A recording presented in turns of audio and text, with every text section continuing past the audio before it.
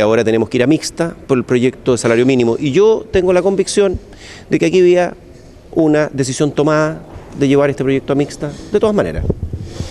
Es una convicción bien profunda y eso es independiente de lo que hubiera hecho el gobierno. A veces estos debates me parece que es un diálogo sordo.